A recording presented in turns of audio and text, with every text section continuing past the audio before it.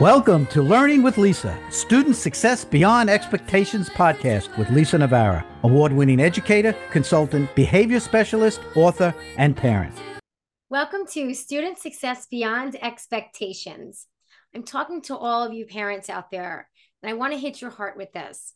Have you ever thought to yourself, my child has so much potential? Or their loved ones and other people in their lives are saying, wow, if only she could do this, then things would be so much easier. And isn't it heartbreaking when you just see that they're trying to do what it is that they want to accomplish, but they just simply don't have those skills? Well, Dr. Norrine Russell is here with us today, and she's a mom. She's a professional. She is inspired, and she's here. Yes, she's going to give us tips for the unmotivated teen and disorganized kids, which of course is really going to be concrete. It's going to be great and helpful. But I really, as if you're an avid listener, you know I want to get to the heart of why people do the things that they do. And Dr. Russell is building an empire as she affects the change and growth within children through the grades of elementary, through college. You see, her and Russell Coaching for Students is really taking, you're going to love this because if you follow me, you know this is what I'm all about. But she takes these social emotional learning skills and executive functioning skills, and she's able to support children's growth in those areas as needed. But here's a really special part. Again, if you're that parent saying, if only my child could, see her company and her she works with children who have more than one diagnosis. You know those comorbidities? Well this is the special part. So much where the mainstream public still and i i understand this as being a practitioner like they just don't get it. But if you're that parent who's saying where do i go? This is why she's getting referrals and really doesn't even advertise, let's say, going to conferences and trying to get the word out there because now we're looking at a whole paradigm shift, which, okay, that is my direction. That that tends to be my approach too. But you know what? It's all about referrals. She's got schools calling her. She's got community based organizations calling her. She's got other parents referring to other parents calling her. And we are now going to speak with Dr. Maureen Russell so she could tell us where she's come from, her why, and how what she knows can help all of you. Welcome. I am delighted to be here. And that is the most lovely introduction I have ever received. Thank you. You deserve it. Thank you. So tell us your journey. You had children. What inspired you? Tell us a little bit about your background of um, your academia, and then just bring us right into here and now. Sure. I think I'm someone who has always been all about personal growth and personal well being and happiness and the positive side of psychology. So I have my PhD in psychology with a focus on developmental psychology and kind of all the positive side of psychology and have really done a few different things since graduate school. So, first, I was an academic, which was great, loved it, loved working directly with college students and teaching. Then I ran a couple different nonprofits, which I also loved because you talk about a paradigm shift, right? If you can successfully work in a community with schools, community based organizations, parents, and youth, you know, you can really start to make a difference. And then I had my son and became a mom, and he's pretty complex. And so I retired from nonprofit work and really through the request of of the community here in Tampa Bay, where I live, um, started a student coaching practice. And now it's 14 years later, and we do academic ADHD and life coaching for students. And I absolutely love it. So, explain to our listeners what do you mean by life coaching? Sure, absolutely. So, this is an important question you've asked. So, at our practice, we specialize in academic, ADHD, and life coaching.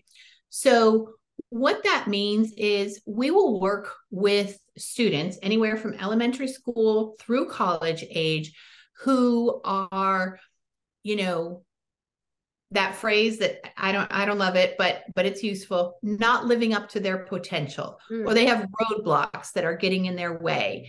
And um, they're trying to move forward in their life and they have goals, but something's holding them back, right? And so we work with kids who are neurologically complex they have, for the most part, more than one diagnosis. So they might have ADHD and autism. They might have ADHD and anxiety. They might have dyslexia and anxiety. And we help them with those very concrete skills of, okay, ninth grade, it's overwhelming me and I feel miserable, and my parents are losing patience with me, and I'm not getting my homework turned in, and I'm not passing my tests. Okay, so let's all breathe. That's right. what happens when you yes. Russell coach. Let's take a breath, right? Let's step back a little bit. Let's do some assessment of what your skills are executive functioning, learning and study skills, social and emotional skills. Let's figure out where your strengths are and also what are the roadblocks, right?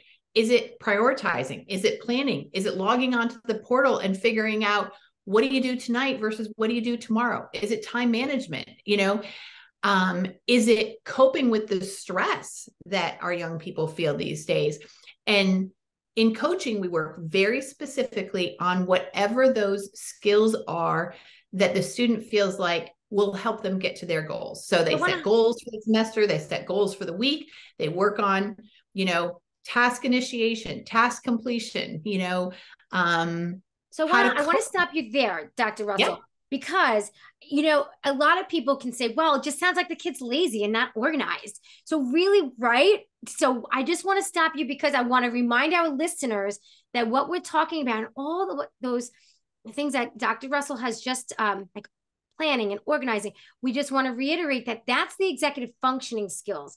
So what she's doing is really assessing what skills in their brain is un maybe delayed, right? And they need to build. So she, her company is specifically building those areas. So then your child can perform certain tasks. Okay. So I just wanted to stop you there and make that connection. So please continue.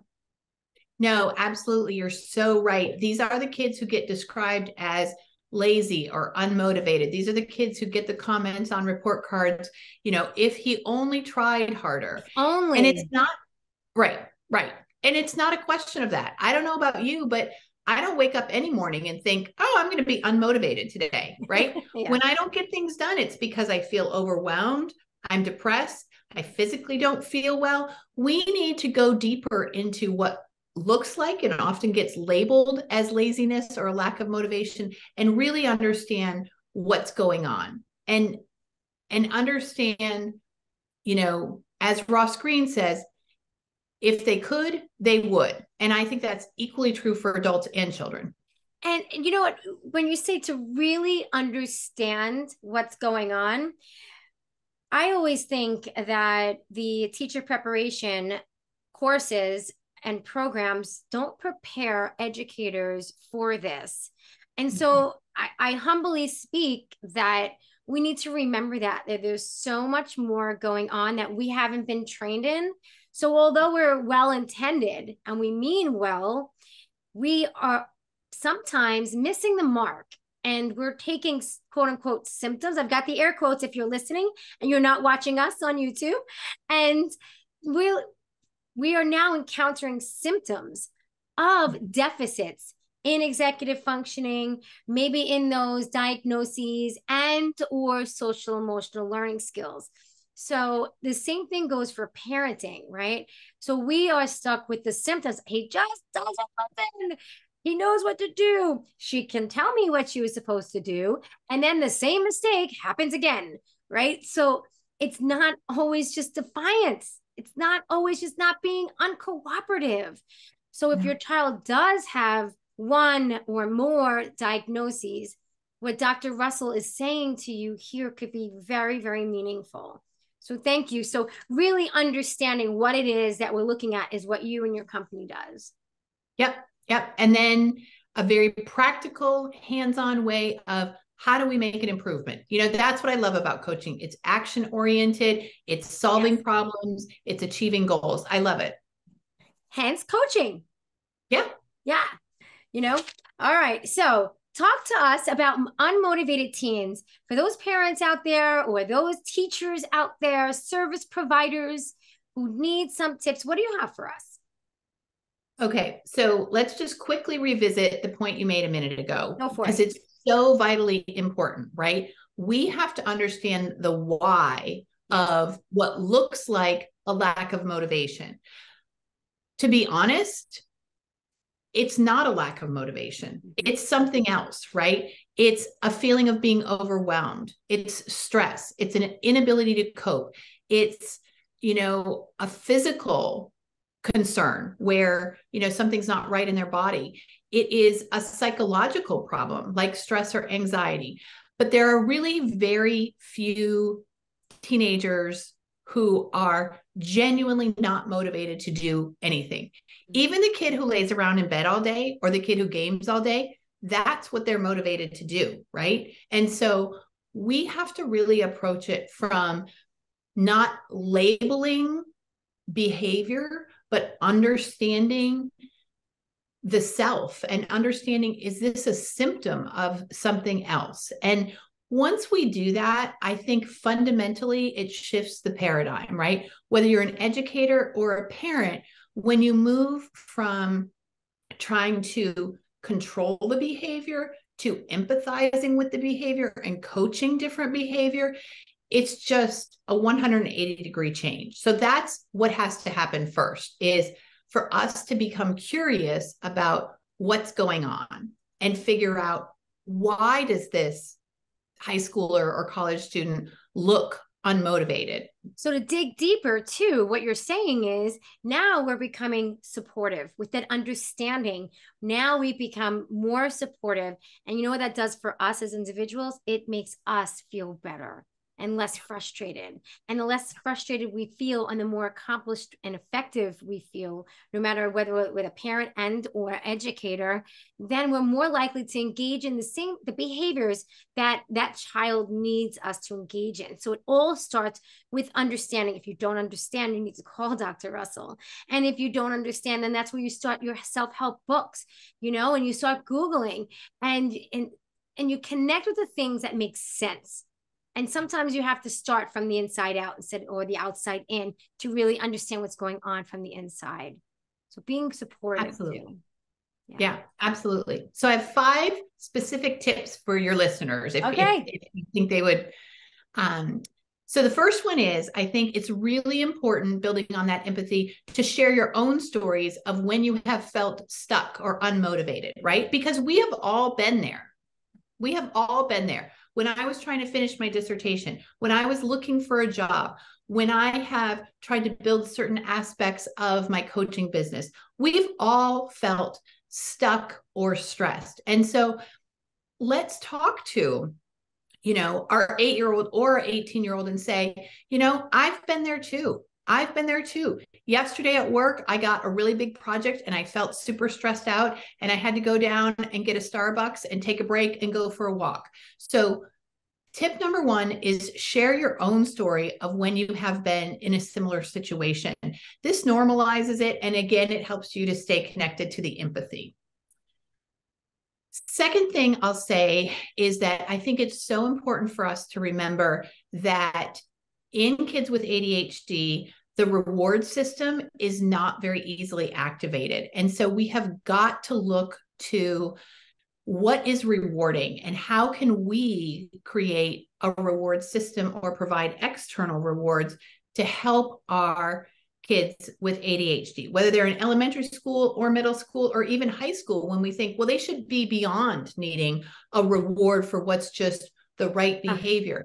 But this assumes that their brain is giving them that internal reward and it's not. So, tip number two is really, really hit the rewards, reinforcement, praise, respect, heavy, heavy, heavy, and consistently with your child or teenager with ADHD. Does that make sense? It makes a tremendous amount of sense. So, we should not be hearing, well, I don't think that he should be having a checklist because I'm preparing him for high school next year. I'm preparing him from sixth grade middle school. It drives me crazy. I'm like, let me go talk to them because yeah. we're not for developing those underdeveloped needs. Is that what you're saying?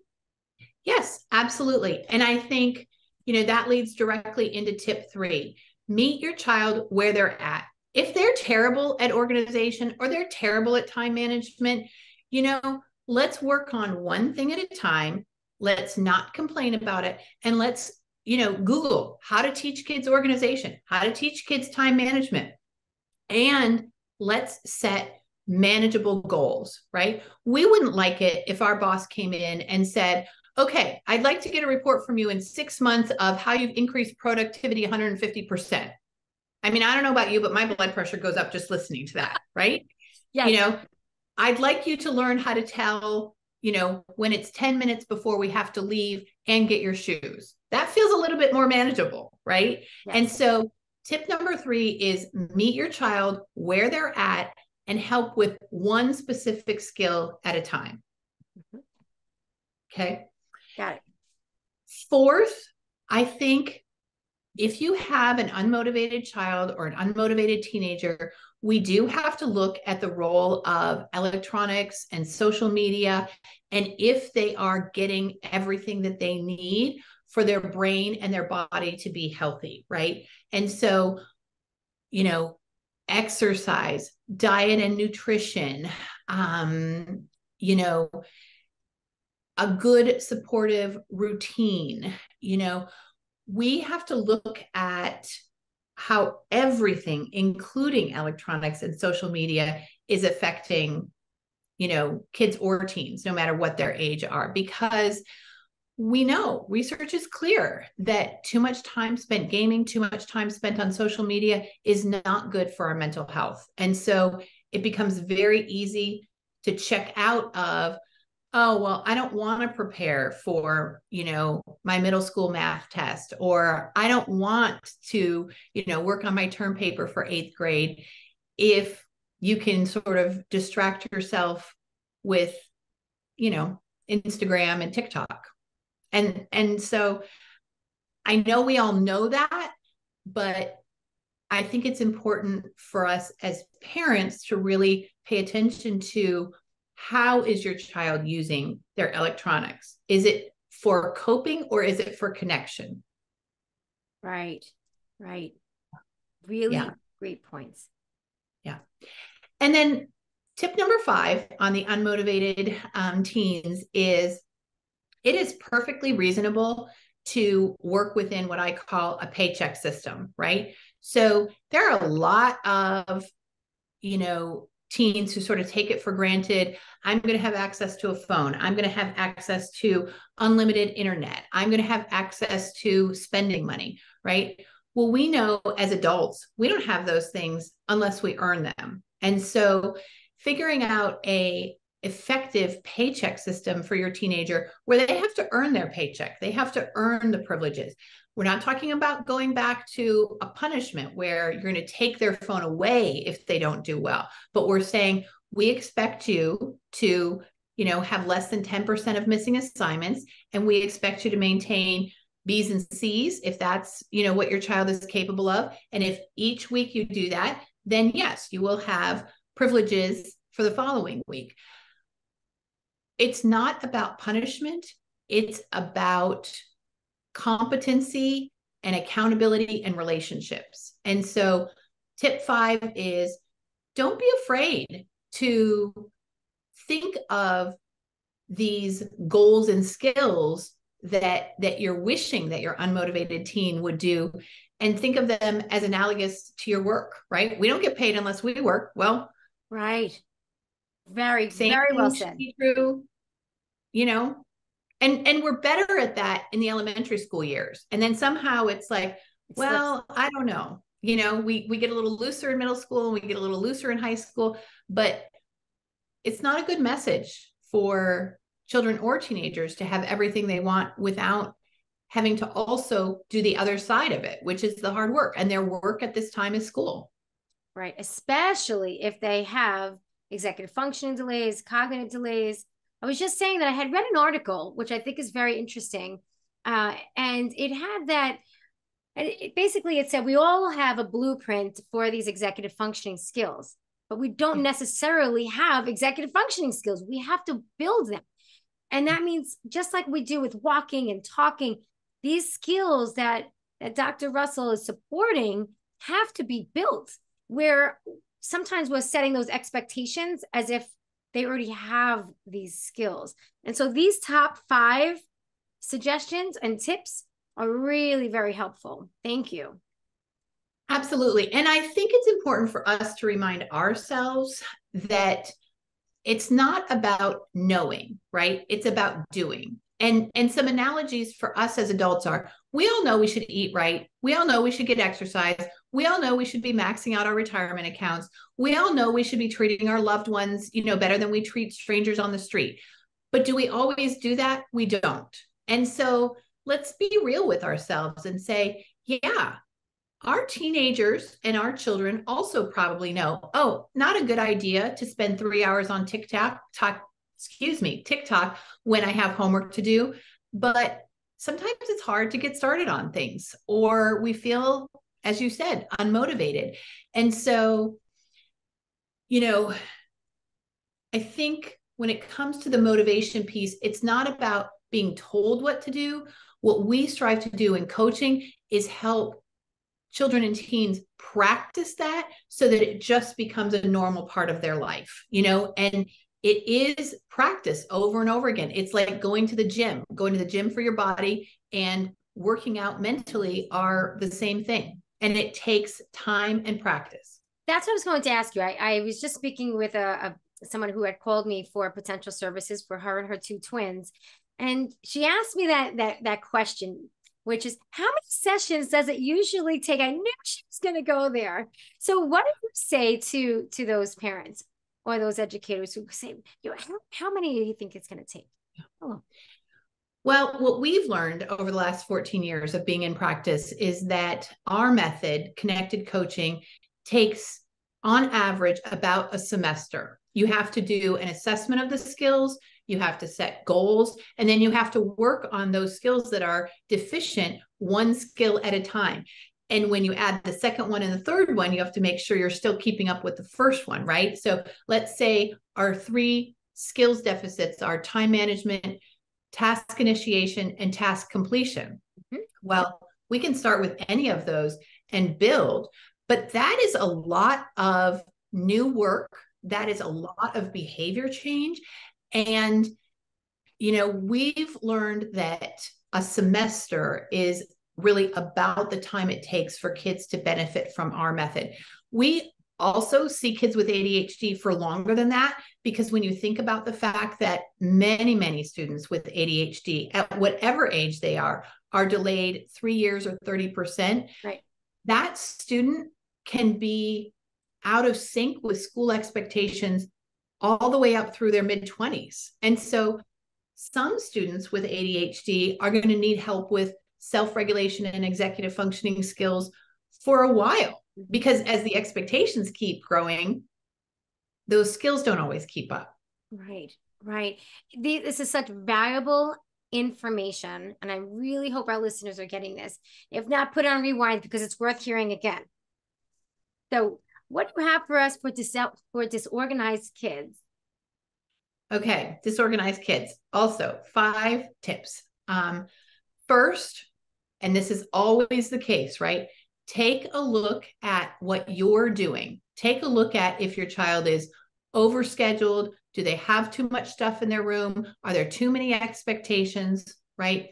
We need to, as step one, simplify our lives to the point where it's not overwhelming our children or teens and they're having meltdowns or they're sleeping too much or they're having anxiety. So, tip one is the same as with unmotivated teens take a look at your own self and see what can you change about the way your household runs. Um, so that's the most important. Second i think is make visual reminders.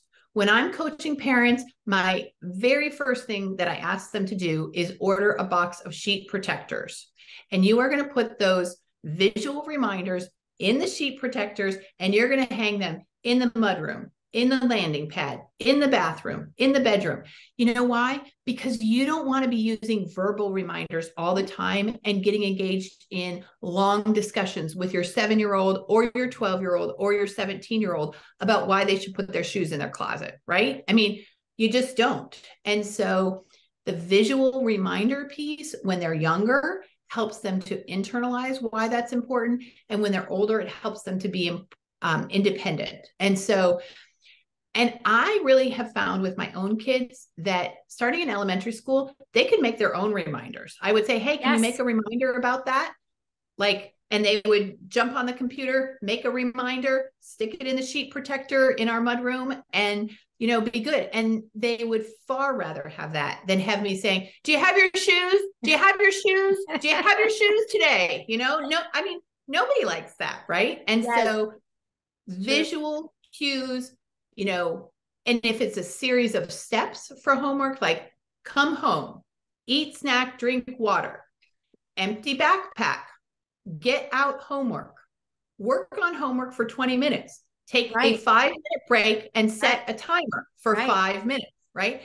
It's perfectly okay to put all those things on a list. I mean, how many of us had to go through that when we were teaching our kids to shower or bathe independently, right? Make sure you wash your hair, make sure you wash your body, make That's sure right. you scrub your nails. You know, the same thing is true with so many of these executive functioning skills. So, visual aids.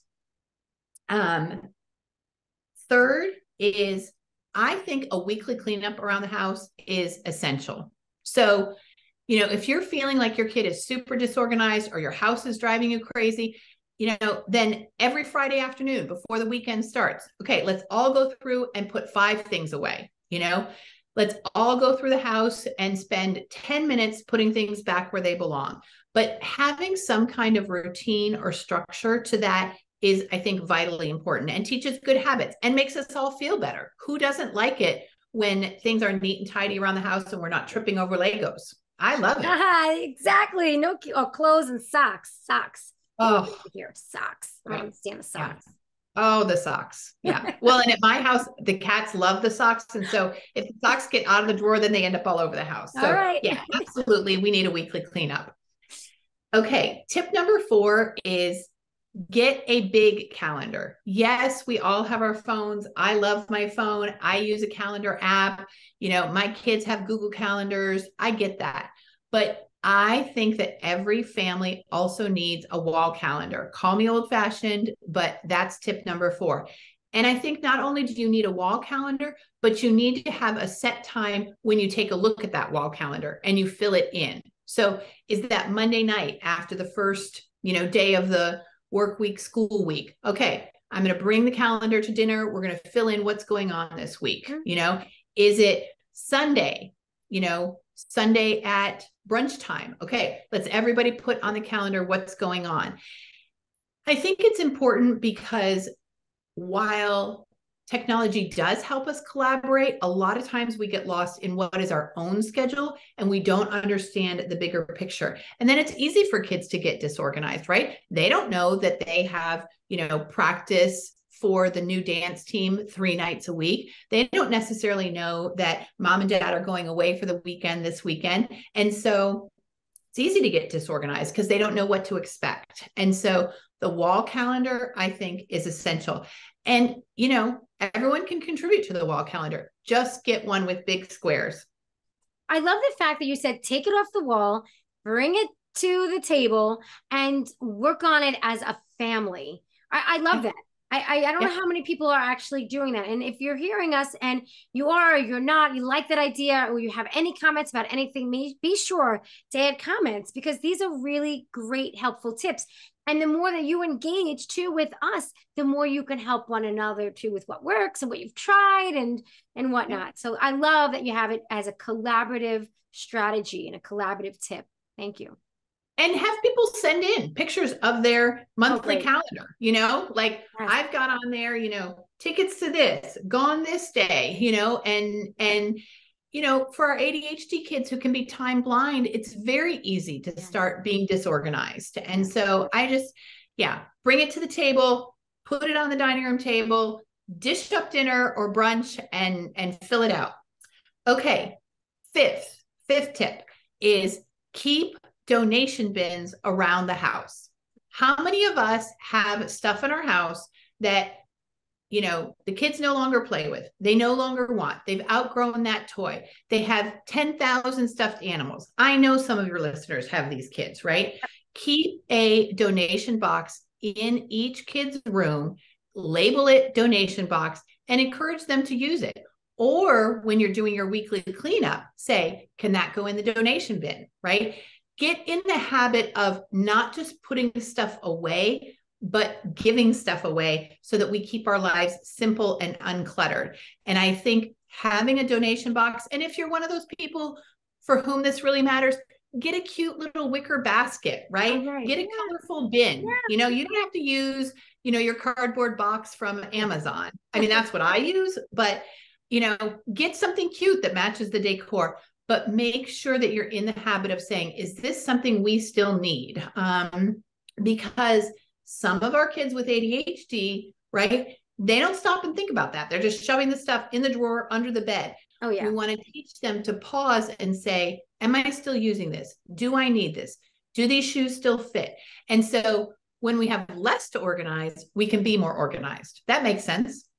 Absolutely, it makes sense. And and the more organized things are, the less overwhelmed they feel, less overwhelmed they feel, the more likely they are to step back, take that breath, and be able to say, This is what I need to do, and I can do it.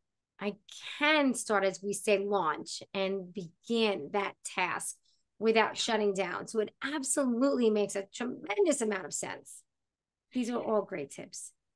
And when you think about whatever you do when it comes to motivation or organization, think about it from a systems point of view, right? You don't want to be the one motivating your teenager. You don't want to be the one organizing your child. So, how can you put things into place that teach them those skills and teach them how to self regulate, right? What would motivate you to get started on doing, you know, your Quizlet for your IB test, right? what would help? You know that helps your teenager develop the metacognition of how do i problem solve rather than okay let's get started let's get started. Did you start yet? Did you start yet? I mean nobody thrives like that. So help by setting up systems. Same thing with organization. Don't be the one who organizes everything. Teach your kids how to organize. And then of course we have to be patient you know and we have to expect 75, 80%, not 100%. Right. So explain to our listeners today about how having an external motivator for the right reason is not bribery, but it's really what internally that they need. Explain that to our listeners. Sure, sure. And you know, you and I don't have to get into the in depth neurology of that. But what I think is important for your listeners to understand is that, yes, of course, as parents and, and even as professionals, we want kids and teens to be self motivated.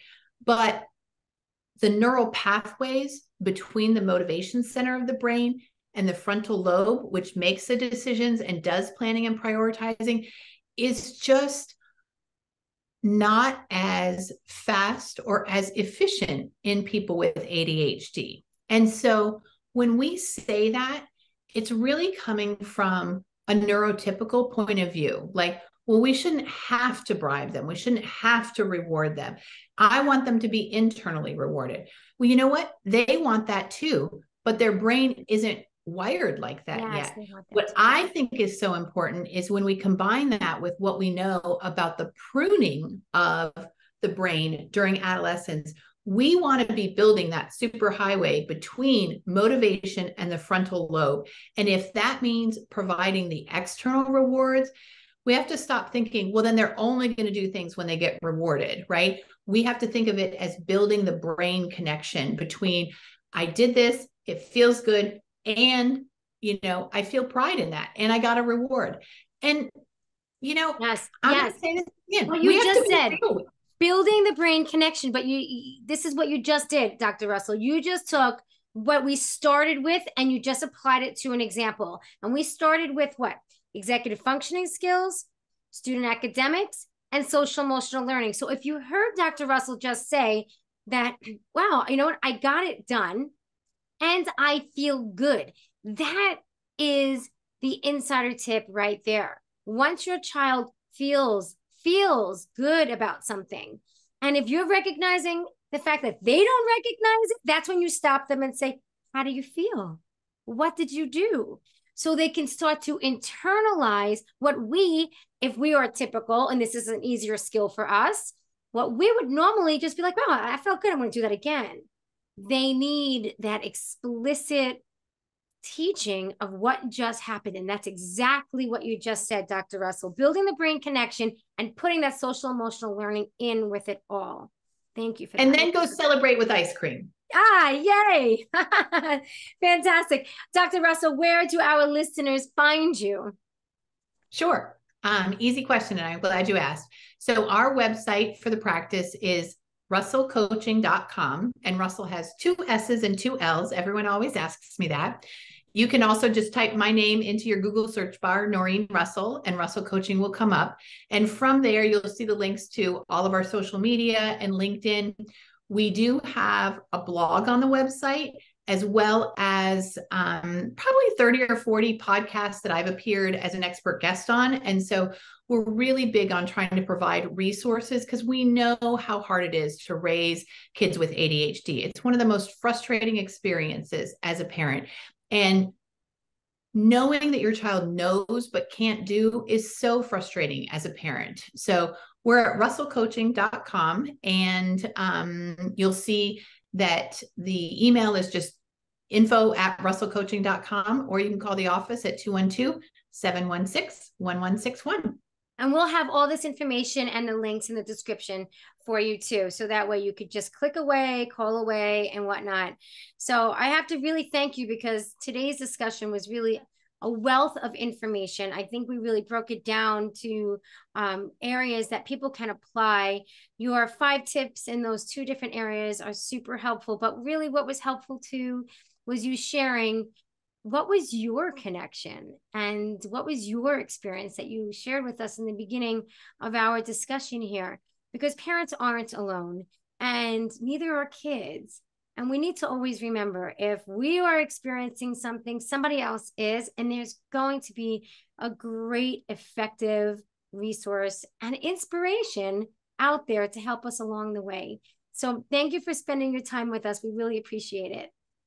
Thank you for inviting me. And that is just right the most lovely thought. We aren't alone. Look for the connection. You will find the support. Thank you for having me. Thank you for giving me the opportunity to perhaps support some of your listeners. Absolutely our pre- pleasure. And if you're listening, be sure to like and share this episode with your friends in your own network. Take care. Thank you for listening to the Student Success Beyond Expectations podcast, where school leaders, educators, and parents meet on behalf of children who struggle with learning.